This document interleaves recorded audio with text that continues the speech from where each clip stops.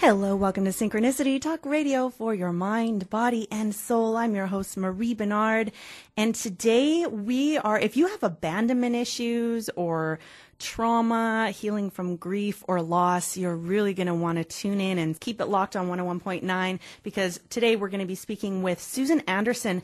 She is the author of Taming Your Outer Child, Overcoming Self-Sabotage and Healing from Abandonment. And Susan Anderson is a psychotherapist. She's founder of the Abandonment Recovery Movement and has 30 years experience working with the victims of trauma, grief, and loss. And she's also the author of The Journey from Abandonment to Healing. And she offers workshops throughout the world. She lives in Huntington, New York, and she's going to be visiting California and Oregon coming up pretty soon. So if you're anywhere near there, um, pay attention to what she has to say if you want to meet with her. Welcome to the show, Susan. I'm happy to be here, Marie. Thank you so much. So, first of all, maybe you can tell me a little bit about uh, what inspired you to write this book. Well, I was working with the victims of abandonment trauma, um, and I was doing that because I had my own adult abandonment experience. Um, here I was an expert in abandonment for all those years 20, 20 years working as a therapist, specializing in looking at things through the lens of abandonment, so to speak. And I, my own marital partner of uh, 18 years just suddenly up and left me for another woman. Oh my gosh. I threw myself into the task of saving myself by discovering more effective tools than the ones that I had already been using for my clients. And so I was working with these new tools that I spent years researching, of course, and working with the trauma with the trauma victims of abandonment, other trauma victims like myself had been and I needed a tool to help people overcome the self sabotage that is the aftermath of abandonment. And it was interesting because many people came in to the workshops and to, into into all the different recovery programs that I had, not because they had a current heartbreak. Some of them, many of them did, of course, but some of them came because they had childhood issues of abandonment that were causing them to sabotage their adult lives, sabotage their relationships or their goals. And so I needed a, a new tool to really help work on self sabotage. It seemed to be the most important event on everyone's mind. And so out of that came the sort of the counterpart of the inner child. If you think of the inner child as the part that's been wounded by abandonment and that feels the hurt and the fear and the insecurity, you can think of the outer child as the part that acts that out in a way that sabotages our relationships and our goals. And so that's how outer child was born, so to speak. So, Susan, it's interesting how people with abandonment issues, like you said, they, they tend to self sabotage. But why would we do that, especially if we don't have anyone taking care of us? We really need to take care of ourselves.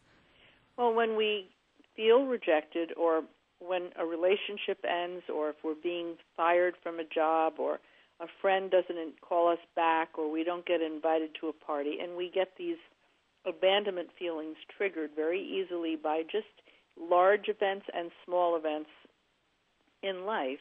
What we tend to do is have self doubt we tend to wish that we were um, more lovable, that we were more attachment worthy, that we were more popular, that we made a better impression. Let's say we failed to get an, a promotion at work. And so we get we begin to doubt ourselves and we get angry with ourselves. And that leads to self-abandonment.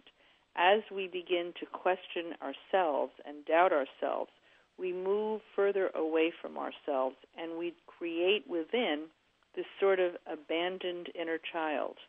And that inner child is just under the surface, sort of bubbling up air and affecting our lives in a very intrusive way because it's just sort of under the surface. We're not all that conscious of it. But over life, we've tended to, you know, be accumulate a lot of self-doubt. And so this abandoned inner child begins to act begins to create feelings that then we act out in inappropriate ways. So it's the self sabotage that stems from self abandonment, that stems from going through various abandonment scenarios from childhood on. Now, Susan, pretty much every human being has felt abandoned or rejected at one point. So, what's the difference between someone who has a regular level of abandonment and someone who has abandonment issues and self sabotages? Yeah, that's a really good question because the fact is that we that abandonment, the issue having abandonment fear is universal to all people. So we all have it to some extent. And what's truly ironic is that some people who've never had any abandonment issues that they were conscious of before can have a full blown reaction in adulthood when there's a rejection or a breakup or something of that sort. So the answer is that even people with ideal childhoods and wonderful parents and coming from families that were loving can have very strong reactions.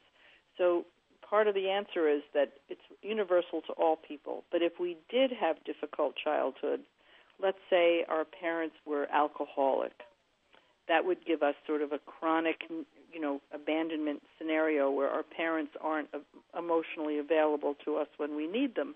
Um, we tend to have a rougher time in adulthood. But as I said, that's not always true. Some people are very resilient, and other people with perfect childhoods can have um, a, a very big reaction to an abandonment situation. The same is true for self sabotage. People who have difficult childhoods, who have a lot of sort of chronic abandonment situations, one of their parents died, or their parents were too punitive or too critical, or as I said, alcoholic or something like that, can have a lot of abandonment issues and a lot of self abandonment leading to self sabotage. But all of us self sabotage to some extent. All there's not a person alive who could possibly say that they don't have self sabotage going on at some point. Everyone um, procrastinates about something or may avoid a task that's unpleasant unpleasant instead of taking care of it. So these things tend to be across the board. We can all benefit from uh, overcoming the, the self sabotage. We can all benefit by healing the abandonment. Awesome. Well, and it sounds like you talk about uh, the, the, outer child. So this is the, the, inner child are, are your feelings, and that takes place in the amygdala. We might not even be conscious of it, right? Yes. Your inner child just refers to everything that you're feeling and all of your needs, and some of them may be conscious, and some of it may be unconscious and by unconscious, you know, it, it means that it can be triggered so that it might not be something you're you might not be feeling hypersensitive. You're with a friend who's very supportive, but all of a sudden that friend dismisses something that you've said and kind of criticizes or judges what you've just explained, and out can come a very strong reaction, anger or hurt, because the feeling was unconscious, you weren't in touch with feeling hypersensitive, but there was an undercurrent that got triggered by what this friend said. Hmm.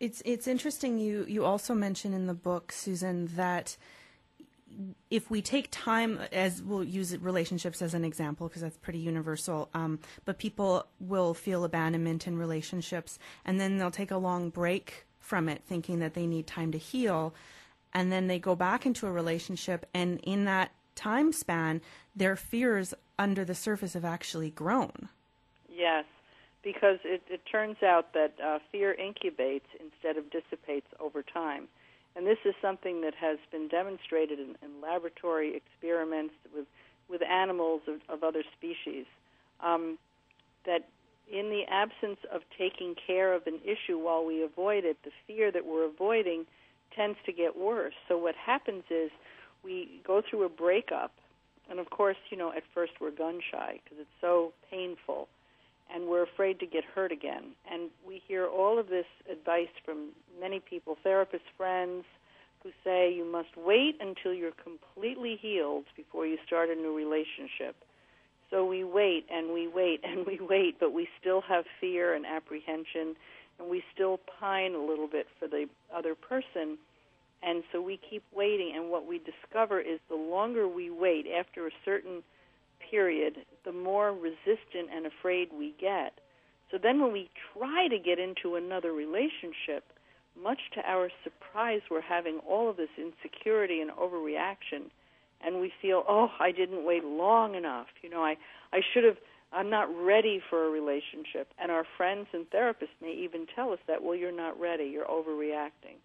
The truth is, maybe we waited even a little too long because we allowed the fear to incubate and we, we allowed some of the fears and the feelings to fester because we didn't have a working laboratory, you know, a new relationship to kind of work them out with. Hmm. But you're, it doesn't sound like you're condoning the rebound, like break up with someone and then two days later you have a new partner. No, I, I don't condone someone rushing out to replace a, partner because there is a, a natural grief process, and it's very important to go through the grief process and to really get in touch with all the feelings and work them through. But it is well, the part that I try to emphasize is that life itself is therapy, life itself is recovery, and a great place to begin to work on all of those feelings that are bound to come up. Uh, you've been hurt once, you're afraid it'll happen again, so there will be some more fear and anxiety when you approach a new relationship. Um, but to work on it while opening up and reaching out to new people, and while being out there in the world, actually living your life um, and working through your fears rather than avoiding life and avoiding your fears. Hmm. There's uh, another really important point that you make in the book that really resonated with me, and that's the issue of addiction to abandonment. Well, there's a condition that I call abandoholism, which is the addiction to abandonment, which is you are attracted only to unavailable people. And this is so prevalent that there are so many people who are attracted to the unavailable. And it even reaches the extreme that when somebody comes along who initially was unavailable, and then they become available, they, you know, they they decide, okay, you know what, I, I'm here for you. I I'm opening my heart up. Let's be together. And that at that point, when you're a bandaholic, you tend to lose interest and you say, well, you know, this person has become boring, or uh, I don't think there's no chemistry, or you know, he or she just isn't the right person. And what really happened there is that the person became completely available and you lost interest because unbeknownst to you, you've become, you know, sort of addicted, so to speak, to the insecurity. You've become addicted to the hard to get feeling of pursuit. And by addiction, I mean it's something you've become um, accustomed to in a way that in order for you to feel that you're interested in someone, in order to feel quote unquote love towards someone or attraction, you need to feel simultaneously insecure. Hmm. Well, that's a bummer. it's a bummer. um, I actually just went through um, a, another breakup recently. I noticed, uh, and, and you also talk about this in the book, that people who tend to distance themselves and have fear of, I believe the word is engulfment, are really just the other side of the same coin of fear of abandonment. Yes. How, um, how does that people work? People tend to swing on a pendulum between fear of abandonment and fear of engulfment. Now, there are some people, and I'm sure you've seen this out in the dating world, who tend more toward the fear of engulfment. As soon as somebody becomes too close to them, they feel the walls closing in and they lose interest and they want out. The people who have that kind of reaction very often are highly el- eligible people who others want and they seem to have be pursued by others because of course they're hard to get because the minute you try to hold on to them like a bar of soap. They're slippery and they just pop out of your hand, mm-hmm. and so they become the desired object. Okay, so there are people who tend more toward fear of engulfment, where they can't stand somebody counting on them and needing them and falling in love with them, and you know the wall it makes the walls close in. The opposite of that is fear of an, of annihilation, fear of abandonment, where you're constantly afraid of being rejected. You're afraid yet another relationship is going to fall apart because the other person lost interest. But what's really uh, um, ironic or almost hilarious is that many people have both. So they have a fear of abandonment when they like the person and the person is a little hard to get. But then they have fear of engulfment the minute the other person likes them. Mm. And I'm using the word like instead of love or atta- attraction because at the beginning we like someone. We like them instead of not like them. You know, we like them. That's how it starts. And when we like someone, when we actually, hmm, I like him or her, that is when we want the person, and that is often when we fear the abandonment because what if they don't like us back?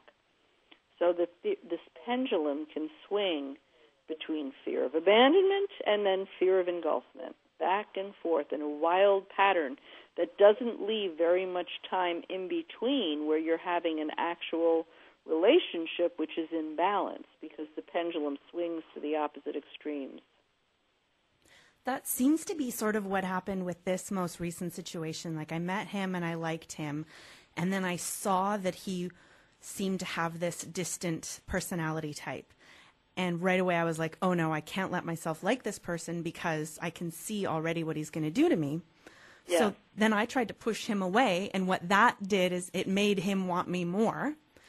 And then he pursued me, and I kind of gave in because the chemistry was so strong. And then we just got into this, yeah, this pendulum where it, it was just drama every few days, which every time we went through that cycle, it would both bond us more and make us more fearful. Yeah. And it was just a disaster. Yeah. How um, do you stop it's that? Just, it, this can happen so easily to so many people. They ricochet back and forth. So you you saw abandonment coming down the pike. So you decided to short circuit and drop out, and then that made him pursue you, and back and forth, and it's a ricochet effect. And it's of course it's very painful because you know what it does. It creates in that couple a seesaw up and down, back and forth pattern, which is painful, and therefore the relationship can be you can get stuck in something like that especially if it goes back and forth and it's not one side wanting the other side more consistently, if it's sort of you take turns, that can be a very stuck pattern that it goes back and forth. It was interesting because we had um, we went through this pattern a couple of times, and I was trying to explain to him like, look, I can see where this is going, and he was saying, "Well, you're not giving me a chance," and I kept defending my position. And then as soon as he started to be on board with, "Yeah, it's a good idea that we end it," I felt myself coming onto his side where maybe we should try again. And so then we completely switched. It, it was just, but this is this is the the cycle, and and it is a, a, an addictive cycle. It's very addictive, and it even involves. It's addictive not just psychologically but it involves the body's opiates. You know, we we produce our own opiate-like substances. Well, they're they're opioids, they're called, and they're the endorphins and other enkephalins and various opiates. And when we're going through the upheaval of in a relationship like that, with we have attachment and then separation, attachment, separation. The opiates in the body are produced, and we actually become addicted to the cycle. Mm. So it isn't just psychologically. We're actually looking looking to regain our homeostasis by staying in a painful cycle. Oh, it's so brutal. and I imagine I imagine that um, because what I'm noticing is now it's been it's been a few days and um, I start to feel a bit calmer and then if we have any contact again like I can just feel it it's like it's like having a cigarette after you've quit smoking. Yes. It's um it's toxic. You can when you after you've quit smoking, you can actually feel almost, you know, sick from smoking the cigarette but excited at the same time. It's sort of like, ah, oh, yes, it's the it's the sort of toxic flavor that I love. so it's that contact becomes so so significant, and it is that that makes it just like an addiction. Because look what happens to the alcoholic um, when they have been re- you know, in recovery for a while and then they have a slip and they have alcohol. Oh, it is the most incredible slip because it leads to such an extraordinary feeling of, of drunkenness and and over overindulgence because the alcoholism has exaggerated the effect of the alcohol by quitting. Mm. well, this is a, pretty complicated issue. We're going to talk some more about it after the break. Right now, we are speaking with Susan Anderson. She is a psychotherapist and the author of Taming Your Outer Child Overcoming Self Sabotage and Healing from Abandonment. We'll be back with more synchronicity in a moment. Welcome back to Synchronicity Talk Radio for your mind, body, and soul. I'm your host, Marie Benard, and right now we are speaking with psychotherapist Susan Anderson. She is the author of Taming Your Outer Child, Overcoming Self Sabotage, and Healing from Abandonment. Welcome back to the show, Susan. Good to be back. Thank you. So, we were talking about that addictive cycle of the abandonment and engulfment pendulum swinging back and forth, this drama and the dopamine and the endorphins how do you break that cycle? Well, I know it's a very, very tough cycle because it plagues people all over the all over the world. It's probably the number one pattern that I see out there. But it is breakable. It involves making a mind heart connection in a very specific way because what this is, it's an outer child behavior. It is taking a feeling that you that you a set of feelings, but we'll just say a feeling that you possess within you, and it is acting it out inappropriately, so that you are taking a need and, and an emotional set of feelings, and you are creating an addictive pattern with it. And the solution is to begin to deal directly with that inner self that is beholding that feeling through a, through an exercise program that makes that possible and you you give self-loving actions and gestures to that innermost part of yourself and you make an internal connection so that instead of being caught up in these patterns that don't help you get where you're going, you actually begin to find healthy relationships. Mm. Now, I, I'd like to talk a little bit about what the outer child does because in this example of my own personal experience, we had just had this big conversation about how much we trigger each other and how we were going to cope with it. So we had a game plan, and it happened again.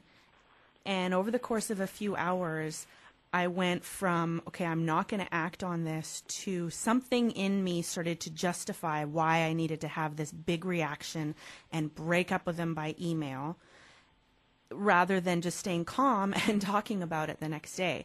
So, why is it that we have these behaviors that we can't seem to stop? It's almost like a compulsion when our intellect is telling us this is not the right decision, but we, we convince ourselves that we should still do it anyway.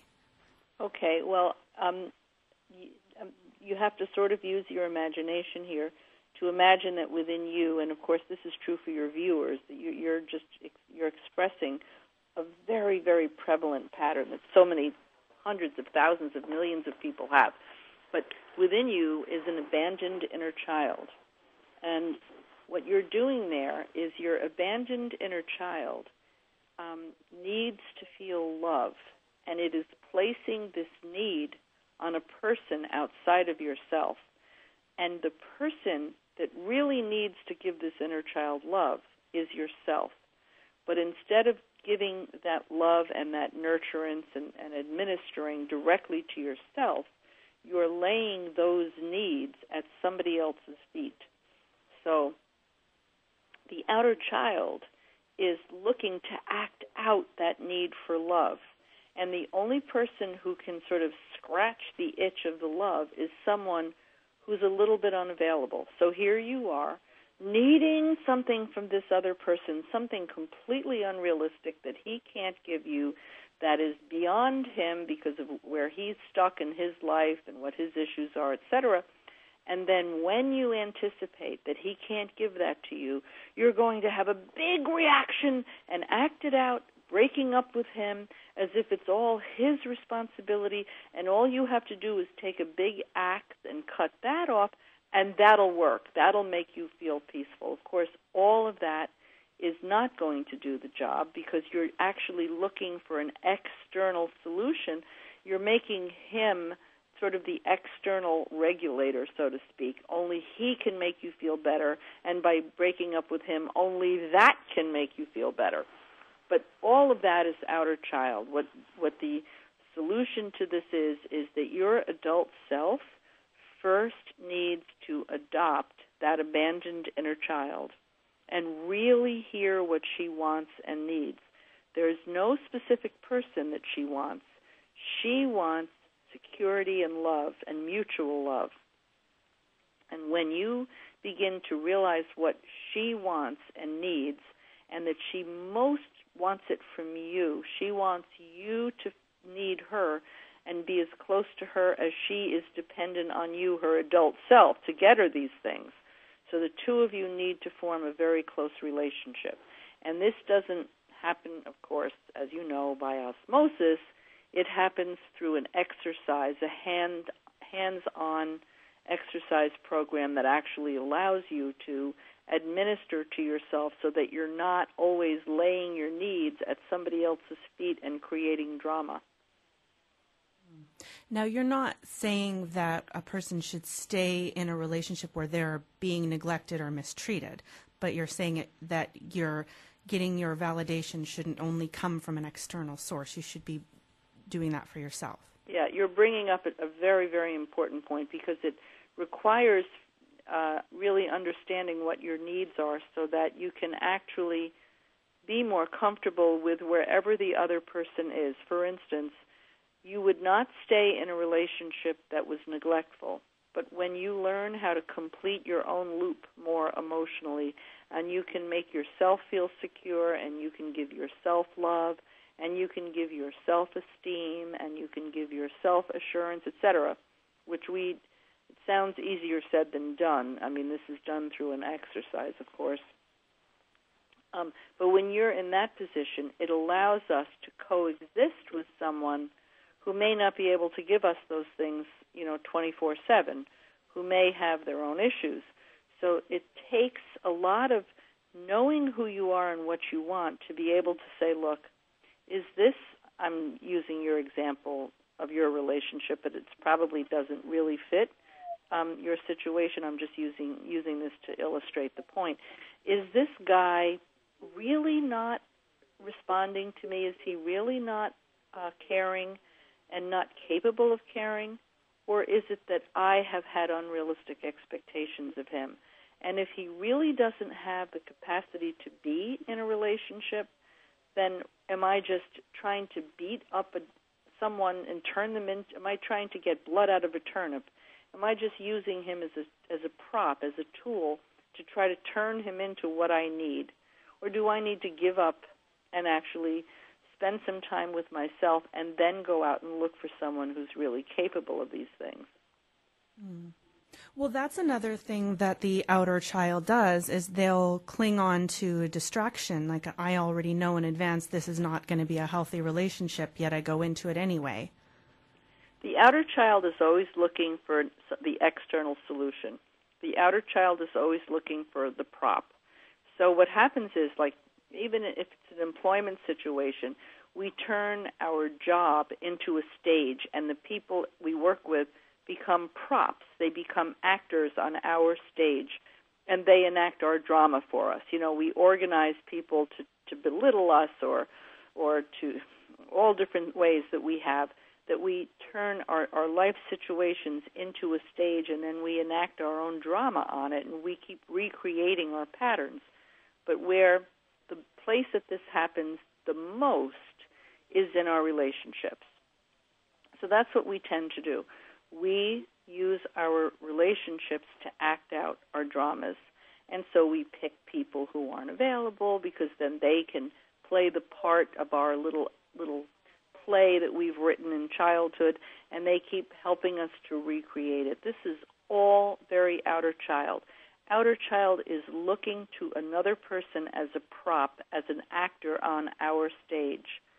The healthy thing, what happens is when when there's a real good mind heart connection and the adult self and the inner child are closer and working together is they're not looking for a prop. They're not looking for an actor to reenact an old drama. They're looking for now when they when they've had a period of getting to know, you know, getting that strengthening that internal bond, they're looking for someone who actually can care about another person, be consistent toward another person, be loving toward another person. And so we're actually looking for that type of person and not trying to turn someone else into um, sort of a, a, prop or an actor on our stage. Mm. Well, we are speaking right now about abandonment issues, loss, grief, and taming your outer child. We're speaking with the author of the book, Susan Anderson, Taming Your Outer Child, Overcoming Self Sabotage and Healing from Abandonment. Now, you have a series of exercises throughout the book. Um, can you talk a little bit about these writing exercises and why they're so important? Well, um, writing is a way that involves the most part of, parts of the brain all at once. You, when you write, let's say, about your feelings, you're using your cognitive brain and you're using your emotional brain. You're bringing different parts of your brain together in an integrated task. So, writing is a very effective um, healing tool. Um, there's also the use of your imagination involved. In writing, you have to sort of conjure up images of uh, an outer child and an inner child and an adult self. You're creating those images using your imagination, and then you're having them, you know, play out certain parts in, in the in the writing exercise. So you're using your imagination also. You're really exercising your brain, and it's very strenuous physical exercise for the brain. It's physical therapy for the brain, and it incrementally strengthens that adult muscle that allows you to to reach your higher self and really take yourself in hand and begin to change these these patterns. Um, but the writing exercises are one component. The com- first component of the program is you, the use of your imagination, using your mind, the part of your mind that can envision itself a little bit in the future, like a year or two or six months or a few months in the future, as if you've already begun to achieve all of your goals. You're imagining what could be, and you're using your imagination in a very powerful way to visualize a future that contains some of your goals met. You're also using your imagination to um, to create these three parts of the personality: inner child, outer child, and adult and your mind gets a very strong workout from this. It's very good physical therapy for the brain. And then the written exercises, and this is followed by the third part, which are action steps, which involve taking positive, self loving actions every day. So it's a three prong approach, which involves imagination, uh, written exercises, which is connecting feelings, and taking action. So, Susan, I'm curious now, are you intentionally each day doing this little written dialogue or do you wait until there's a trigger? How how do you practice this most effectively? The use of your imagination since it is nearly effortless and you can do it while you're driving in the car and you can do it while you're standing online at the bank. You can have your eyes open, but you just need to take a moment to use your imagination. This is something you do every day, no less than three times a day. And I recommend doing it for three months. You'll see results pretty quick, but three months, it, it has a powerful impact. The written exercises involve sitting down and doing something, maybe 10 or 10 or 15 minutes at the most, um, but it's still sitting down and doing it. So I recommend using this exercise when something triggers you during the day. For instance, you've committed another act of self sabotage. You've given up and you've called him again and started things all over again, or um, you've had a strong reaction to his not answering your last text, or you know you've had a setback, even if it's small. But that's a great excuse to do the written exercise. So people tend to do that a couple of times a week, given people's schedules. And then taking a daily action step is very easy. you take tiny baby steps so you can incorporate one every single day. And they're so easy to do. You might incorporate two or three of them because all you do is weave them into what you're really, you know, your work day and your your regular day. So you're doing these things on a daily basis or with a written exercise every couple of days and then you're doing them for on an ongoing basis and I would say a minimum of 3 months. So when you say the 3 times a day that's the the visualization practice that you yes. about? Okay. And that's a minimum. It's so easy to do. You could do it 50 times a day easily. But 3, you know, to to remind yourself whenever you're in the car, do it again. Uh, if you haven't, if you're waiting for something, do it again. Use every every opportunity to to do it. I like to give people prompts. If you're doing something that's a bad habit, use the prompt instead of doing the bad habit. Use it to visualize. It's a great way to prompt yourself to do it. Um, but it's it's very easy. Hmm. Now, I was reading your book yesterday and I was going through and, and doing all the writing exercises, and I found it really effective. Um, then at night, I was lying in bed and I was feeling triggered, so I was I didn't really want to get up and turn on the light or anything. So I was trying to talk to the inner child and the outer child and all of that. But I noticed that I maybe I was too escalated to be able to focus on it. Is that part of what the writing does for you? Is to focus? The writing really helps when you're very emotionally uh, triggered and you're all charged up emotionally. Sometimes just writing, the act of writing, starting the dialogue, having big you say to little you, I want you to tell me everything that you're feeling. And in your case, because you're you have been I'm again I'm using you as an example. I may be exaggerating this tremendously, but um, just to make an illustration, um, in in your case, it may be that you're uh, you're very charged up from going through this painful relationship, and um, your little you in that case would be very abandoned and feel very lonely because you're you're not taking care of little you. All of your eggs are resting in his basket, and you're making him so important and she who you you seem to be talking to but she's not getting she's not getting her thoughts across because she needs you to reassure her that you're not going anywhere that you won't abandon her and you won't put her in harm's way and that you're responsible for what she's feeling nobody else and that you're there to do whatever you can do to get strength to find any way that you can to give her reassurance so that she doesn't have to depend upon you know this guy or anybody else to give it to her that she can get it directly from you. And she's feeling very worried that you're not going to do that and she's feeling um mistrustful and of course that's the nature of this of little you is that's how most little yous feel and so your your task when you're feeling at your worst so much so you can barely focus is to say I, I don't have words to, to comfort you right at this moment, but I just want you to know, little, that I'm collecting your tears in a cup. I'm hearing you. I care about what you're feeling.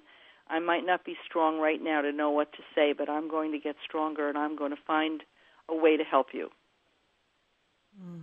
As you're as you're sharing that, it it um, gives me the image of I've heard from so many people uh, while they were growing up, if they had a parent who was in an abusive relationship or an addiction or something like that, which I guess an abusive relationship is a form of addiction, um, and that child gets completely abandoned because the partner or because the parent is so busy chasing yes. that external thing, they neglect the child. It's the same thing as your inner child. Yes. The parent's primary relationship is with the alcohol or with the drug or with the gambling or whatever it may be, um, and not with the child. And the child feels that, and of course, the child goes through terrible, ang- you know, there's there's this helpless feeling because no matter how perfect they try to be, or how cute, or how they they try to get good grades, or they try to become the little parent and take care of their parents and take care of everything. No matter what the child tries to do, they can't seem to be special enough they can't count enough. They're not enough, and they blame it on themselves to get their parents to give up the alcohol, let's say, and and become loving toward them. And so the child, you know, feels bad and, and unimportant and unspecial and unlovable. And that's that's the pain of it really. So as adults, we have that child within us and we make ourselves feel that way by making the other people in our life count so much. It's very human and natural. We don't have to be crazy to make somebody outside of us terribly, terribly important. I mean, we're kind of built to do that. But when we do it, we make that inner child feel so neglected and so helpless and so unimportant. And so there's a huge amount we can do to fix that. Mm. Wow. Well, it's time for another break. We are speaking with psychotherapist Susan Anderson. She is the author of Taming Your Outer Child Overcoming Self Sabotage and Healing from Abandonment. We'll be back with more synchronicity momentarily. Coming up in just a few minutes here on CITR is Parts Unknown with DJ Chris Horrific. But right now we're speaking with Susan Anderson. She's the author of Taming Your Outer Child, Overcoming Self Sabotage and Healing from Abandonment. Now, Susan, you're going to be going on tour, it sounds like? Uh, yes. Um, I'll be starting my workshop season very shortly on the East Coast as well as the West Coast. Because giving workshops, doing outer child recovery work in a group is very exciting because people inspire each other and they get to witness each other's incredible um, insights and also the, the, the victories that they make in terms of helping to turn things around. And if people want to get in touch with you, where's the best place to do that? They can learn about my workshops or get in touch with me through my website, which is I have two, um, abandonment.net, and then its sister site, outerchild.net. You know, they work hand in hand, the two websites. Mm. Thank you. So again, that's abandonment.net or outerchild.net. And Susan, we have just a few minutes left in the show. I'm wondering where you'd like to take the rest of this conversation. Well, one of the most important points that I loved getting across is the fact that when we change a behavior, we don't have to change it perfectly. Because, you know, let's say somebody's been caught in a pattern forever and they just haven't been able to fix it. They've tried everything. Well, they don't have to completely change the pattern. They don't have to completely get rid of it. They have to start to make a small dent in gaining more awareness and taking a few more positive actions. And shockingly, that's just enough, making a small change to make all the difference in the world. So the hope out there is get started with a recovery process because as you make little changes, bigger changes occur and it creates momentum. Now that's part of your daily action steps, right? Yes, that's well. That's that's part of all three prongs of the program because you start to put the prongs together, and you do. Let's say your problem is codependency, and you're. Let's make you very code, codependent. Some people are, um, and the next day or a few days later, you're still codependent, but maybe a little less so, just enough less so that your a relationship that hadn't been working starts to work or your your employers um, start to notice you a little bit more because you're showing more self, you know, in your position. You don't have to change completely. It's it's the beginning of a change that makes just the difference that can make all the difference. Hmm. Thank you. And I wanted to ask you um, about blaming our outer child rather than blaming our feelings. And I kind of, as I started reading the book, I thought, I don't know if I like this blaming thing. yes. Well, unconsciously, we when we before we had an outer child to attribute the um, acting out behavior to, we tended unconsciously to blame our inner child. We'd say, "I love you, inner child, but I wish you weren't such a basket case and ruin all my relationships." I love you, inner child, but I wish you weren't so damn insecure where you may give me performance anxiety. And we tended to blame the behavioral part on the inner child. So with the outer child, we can attribute it to the outer child. But you know, we don't really want to blame anything. So in the end, we attribute it to the outer child. And as we work this through, we begin to come to peace with the outer child, in fact, the adult self actually shoulders outer child, takes it under its wing, and guides the outer child so that all three parts are integrated and nothing is rejected. So it's almost like if you have a hyperactive kid that's always getting in trouble, if you take him and, and focus him on a task that makes him feel better about himself. Exactly. You're learning to manage something that really is simply a little rambunctious and, and acting out, and you actually come to peace with it and integrate it into the into the personality, just like an outer, just like an active child. Mm. So, in your workshops, do you are all your workshops live, or do you do any webinar type work? I've done um, uh, Skype workshops, and I have not done a webinar, but I'm open to that. Um, I my workshops that I was referring to before are live because the face-to-face contact is just absolutely amazing, and, and the relationships that form. But in the um, Skype relationships form also, and that's a very important component to be able to really see and feel each other, to understand we're not alone with these things. Mm. I'm curious, in the workshops, do you do other things, or is everything that's in your book kind of the same material that you work on? Well, we do many other things because it's a pretty comprehensive length of time. Um, at the one, the workshop that I give in California, for instance, is six days, so it encompasses an awful lot of, of, of very good tools that are not are not in the book, and some of them actually come up as a result of the composition of the group, who's in the group and what issues they bring up. So the workshop is pretty comprehensive. Six days. Yes. That's oh, a it's, lot. It's wonderful. Wow. Can you share a little bit about what happens in the workshops? Um, it's a, a, workshop to heal abandonment and overcome uh, outer child patterns. And people um, are introduced to their own feelings. That many of them come in in a tremendously difficult state of, you know, acute abandonment where they've just broken up with someone and it's just terribly painful. Others come in with more chronic type of issues, but we share those in a very constructive way. We do a lot of goal setting, and in that process, the the quality of the sharing and the the pe- people are really sharing with each other in, in a way that they've never shared before on a level of depth, and it creates a tremendous trust factor in the group, so that there is a, a great deal of sharing, but the group is very structured because it's really teaching tools and their take home tools so that it's structured around teaching constructive, very safe self help techniques, and people practice them and share in this deep way. And by the end of the workshop, the sharing has been such that, and watching each other practice the, the tools, such that it is a real growth experience. Mm, thank you.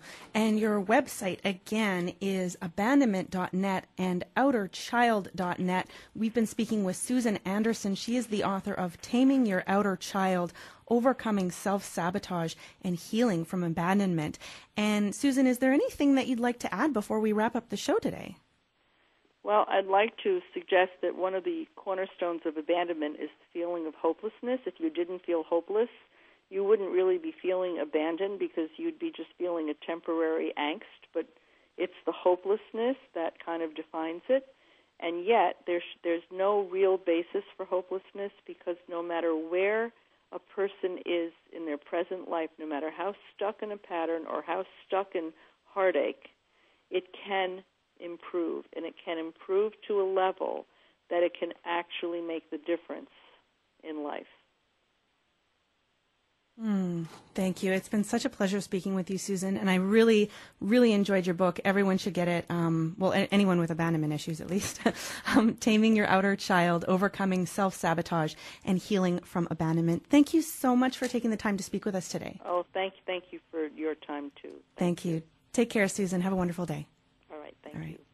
So this has been Synchronicity Talk Radio for your mind, body, and soul. We were just speaking with Susan Anderson, and if you want more information about her book or her workshops, go to abandonment.net or outerchild.net. This has been Synchronicity. Thank you so much for listening and joining us today. I'm going to close the show with the song by the lovely Theta Phoenix. And uh, thank you so much again for being with me. I want to send you lots and lots of love. Chris Horrific isn't in here yet, but he will be in a minute. Be well. Love you so much. Namaste.